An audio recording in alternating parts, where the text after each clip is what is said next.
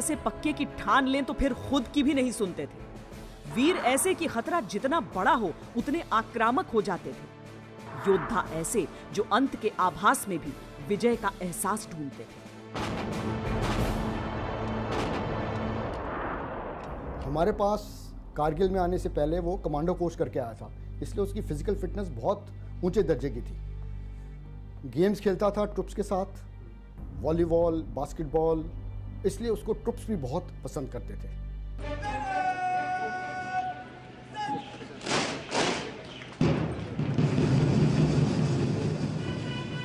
अनुज नैयर, एक प्रोफेसर परिवार से जुड़े होने के बावजूद, कलम से अधिक बंदूक ने अपनी ओर खींचा। बचपन में ही सोच लिया था, बड़े होकर सेना में भर्ती होना है। एक दफ़ा क्लास टेन में जब उनका भयानक एक्सीडेंट हो गया था तब घुटने से एड़ी तक 22 टांके लगाने पड़े थे। पर 16 साल के अनुज ने एनेस्थीसिया यानी पेन किलर लेने से इनकार कर दिया। थाई से स्क्रैप लेना था, इसमें पैर में अटैच करने के लिए। तो उसने ना तो एनेस्थीसिया लिया, ना वो परेशान हुआ, आराम से गया, और his father was very upset कि उनको लगा कि इसको कितनी पेन होएगी। पर उसने बड़े आराम से अपनी skin grafting without any medication करवा ली वो इसी तरह के थे। मतलब मैं कितना उनके साथ रहा हूँ जो मेरा एक्सपीरियंस रहा उनके साथ 25 साल कभी मैंने डर नहीं देखा उनमें। मतलब एक इंसिडेंट ऐसा नहीं कि मैंने देखा हो कि वो किसी चीज़ से उन्होंने बोला हो या दिखा हो उनके चेहरे पे डर है। इंसानी शरीर है दर्द तो सबको एक बराबर ही होता है। लेकिन इस दर्द पर जो फतेह हासिल कर ले, वही है असली वीर। और अनुज तो मानो ऐसा करके जीवन में अपने लक्ष्य की तैयारी कर रहे थे। वरना एक महानगर में रहने वाला लड़का, जिसके पिता प्रोफेसर हों, जो खुद पढ़ाई से लेकर खेल कूद में अव्वल हो, उसके पास विकल्पों की क्या कमी? पर उन्हें पेशा नहीं, जुनून चाहिए था। वो तीनों में सिलेक्ट हो गए थे। आर्मी में, निफ्ट में और होटल मैनेजमेंट में। ये तीनों, निफ्ट में, अपने में ये तीनों बहुत मुश्किल है होना। तो वो तीनों में सिलेक्ट हो गए थे, पर उन्होंने कहा, मैं दर्जी नहीं बनना मैंने तो निफ्ट में तो जाऊँगा नहीं। लोगों को मैंने खाना नहीं खिलाना तो मैं होटल मैनेजमेंट में नहीं जाऊँगा। पर लड़ने का शौक शुरू से ही था। ब्रेवरी थी, क्षत्रिय हैं हम लोग तो उन्होंने यही आर्मी चूज़ की फिर।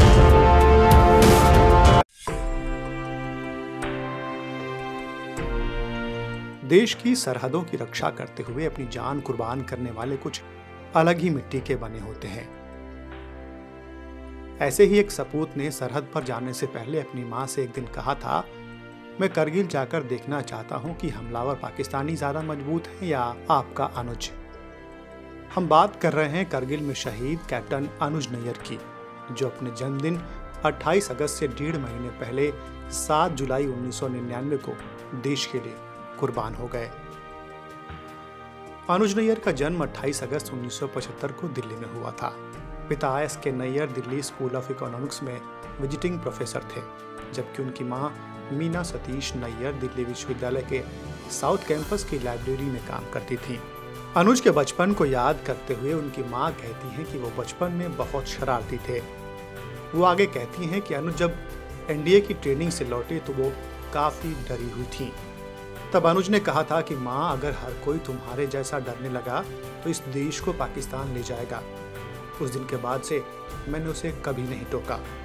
वो बताती हैं कि करगिल जाकर वो टेस्ट करना चाहता था कि जरा देखूँ तो कि पाकिस्तानी ज़्यादा मज़बूत हैं या आपका अनुज अनुज ने कहा था कि जब तक वो ये लड़ाई जीत नहीं लेंगे, तब तक उन्हें कुछ होने वाला नहीं है।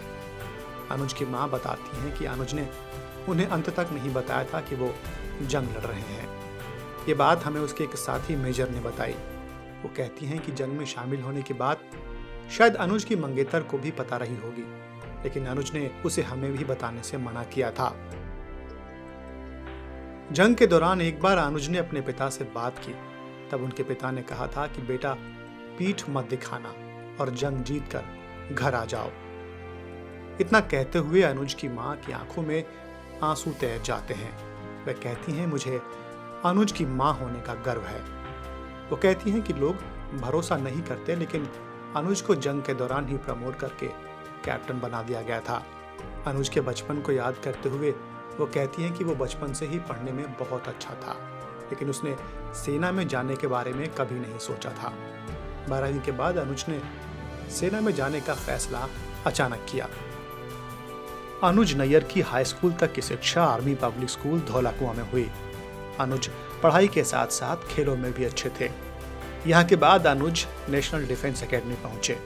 एनडीए से निकलने के बाद जून उन्नीस में सत्रहवीं बटालियन जाट रेजिमेंट में उन्हें कमीशन किया गया। 1999 में जब भारतीय सेना को जम्मू कश्मीर के कारगिल क्षेत्र में पाकिस्तानी सेना के घुसपैठ का पता चला, तब इन घुसपैठियों को बाहर निकालने के लिए भारतीय सेना हरकत में आ गई। अनुज नैयर, जिसमें कमीशन थे, वो सत्रह जाट रेजिमेंट इसी इलाके में तैनात थी। जल्दी ही नैयर के सामने उनकी ज़िंदगी का पहला बड़ा ऑपरेशन आने वाला था। यह ऑपरेशन था रणनीतिक रूप से बेहद अहम मुश्को घाटी के पश्चिमी ढलान पर point four eight seven five को आज़ाद कराने का। अपने रणनीतिक महत्व के कारण point four eight seven five पर वापस कब्जा करना भारतीय सेना के लिए बेहद ज़रूरी था। Point four eight seven five की बेहद खड़ी ढलान थी और बिना एयर सपोर्ट के इस पॉइंट को वापस हासिल करना असंभव था। उस दिन सत्रह जाट रेजिमेंट की उस टुकड़ी ने इस मुश्किल और चुनौतीपूर्ण टारगेट को हासिल करने के लिए एक साहसिक फैसला लिया।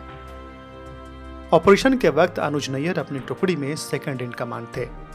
6 जुलाई को एयर सपोर्ट का इंतज़ार किए बिना चोटी को वापस हासिल करने का फैसला कर लिया गया।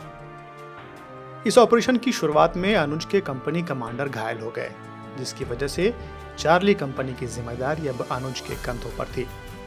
दुश्मन के तोपखाने और मोटार आग बरसा रहे थे। तभी अनुज को लीड सेक्शन ने तीन चार दुश्मन बंकरों की जानकारी दी।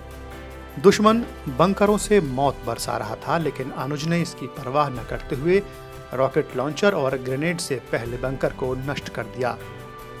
अनुज लीड सेक्शन में शामिल सात जवानों के साथ और आगे बढ़े और दुश्मन के दो और बंकर तबाह कर दिए। इस लड़ाई के दौरान नैयर ने नौ पाकिस्तानी सैनिकों को मार गिराया और तीन मीडियम मशीन गन बंकरों को तबाह कर दिया। अनुज की कंपनी ने इसके बाद अंतिम बंकर पर अपना हमला शुरू कर दिया। अनुज अपने साथियों के साथ लगातार आगे बढ़ रहे थे। तभी दुश्मन की एक आरपीजी सीधे आकर अनुज को लगी। अनुज वहीं शहीद हो गए। उस वक्त अनुज महज 24 साल के थे।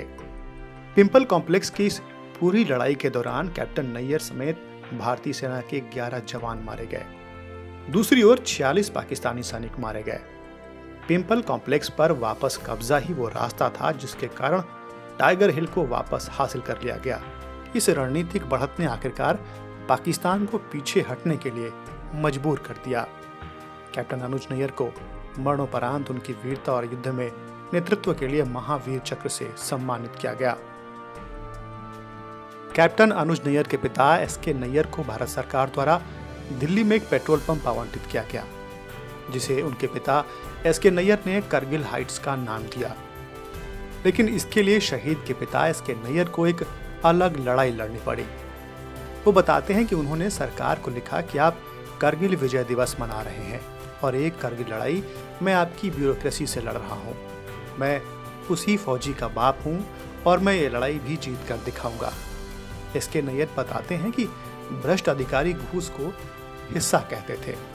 वह कहते हैं कि अधिकारियों ने मुझसे कहा कि आप पेट्रोल पंप लगाकर लाखों करोड़ों कमाओगे तो उसमें हमको भी हिस्सा चाहिए। वैसे तो ये रिश्वत है, लेकिन वो समझते हैं कि ये चंदा है। वे आगे कहते हैं कि हमारी लड़ाई वहीं से शुरू हुई। चाहे दिल्ली पुलिस हो, विद्युत बोर्ड हो, या डीडीए हमने सबसे जंग लड़ी। बेहद भावुक नैयर के पिता आगे कहते हैं कि हम ये पंप पैसों के लिए नहीं चलाना चाहते थे। वो याद करते हैं जनरल मलिक की वो बात, जब उन्होंने कहा था कि हम ये पंप आपको नहीं दे रहे हैं, ये हम अनुज को दे रहे हैं। अनुज के पिता कहते हैं कि हम भी ये अनुज के लिए चला रहे हैं। अपने शहीद बेटे को याद करते हुए अनुज नैयर के पिता कहते हैं कि जब मैं इस पंप पर आता हूँ और उस पत्थर के पास जाता हूँ जहाँ अनुज का नाम खुदा है तो हर रोज उससे कहता हूँ कि I am on duty captain Anuj Nayyar ने करगिल की लड़ाई सरहद पार के दुश्मनों से लड़ी और जान दे दी। और उनके पिता ने ऐसी ही एक लड़ाई उनकी शहादत के बाद अपने ही देश के भ्रष्ट अधिकारियों से लड़ी और एक सैनिक की तरह उन्होंने भी ये